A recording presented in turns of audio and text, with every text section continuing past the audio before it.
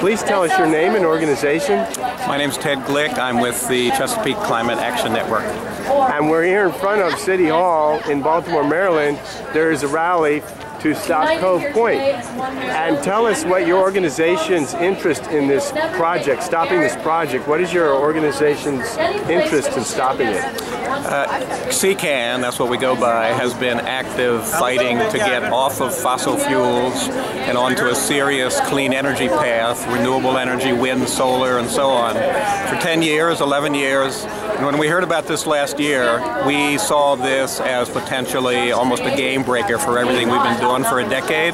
If this Cove Point facility is built, the greenhouse gas emissions that will be spewed into the atmosphere um, through the whole process of this thing, starting from the fracking that will be happening to get the gas to sending it over to Asia and re-gasifying it after it's been a liquid in the tanker tanker vehicles. Um, it's worse than coal in terms of the greenhouse gas impacts. It's, it's a total huge step backwards in what Maryland has been doing for many years, which is moving towards clean energy in terms of where it gets its energy sources. So this is something that just has to be stopped. It is totally the wrong direction, completely and totally the wrong direction for energy policy, for energy to go in Maryland and for that matter in the country and the world.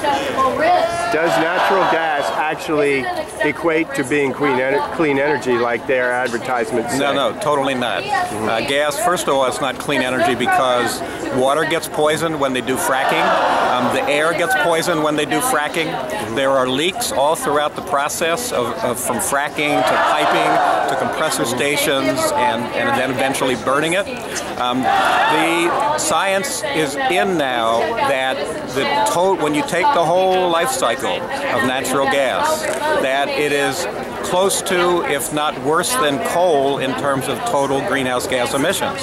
It is not a safe or a clean energy source and we have to get off it just have, like we have to get off coal and we have to get off oil. The good news is that wind and solar are growing very quickly, both in the United States and in the world. Prices are coming down um, and we have a potential right now, not in the future, to dramatically accelerate the clean energy revolution we need to wind and solar and other renewable sources. Natural gas could derail that. How does Marcellus, the, the Marcellus coal belt compared to the tar sands of Alberta?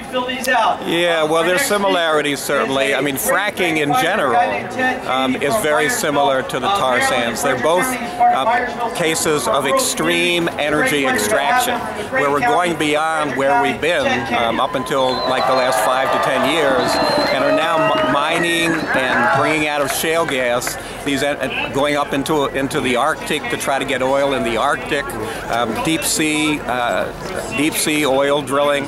All of those are extreme energy extraction uh, methods um, that again are just digging us deeper and deeper and deeper into this very deep hole we're already in when it comes to climate change. So we have to stop all of that. We have to get get off of all of those extreme energy sources, get serious about wind and solar and renewables, and really drive this clean energy revolution now.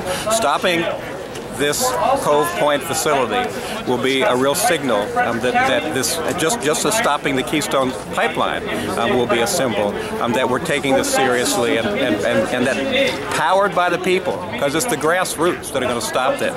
The grassroots and people in government who have decision-making power who realize that their responsibility is, is to defend the rights and the interests um, and the lungs um, and the futures of the people of, of Maryland um, and not the interests of the gas industry that's all about profit. That's what this is all about, making money for the gas industry. It's not even about making money uh, for the economy as a whole.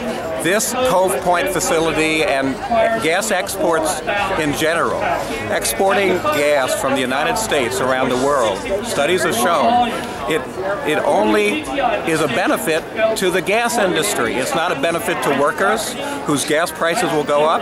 It's not a benefit to manufacturing whose gas prices will go up. Um, it's not a benefit to farmers whose, whose gas prices, some of the inputs they use for, for farming will go up. The only industry that benefits from this is the gas industry, um, the only sector of the economy that benefits.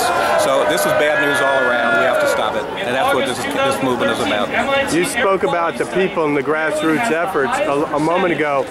How many people did you count? I saw you up on the statue counting. How Right. many? There were 700 people here. That's uh, based on a count as people were going by on the march.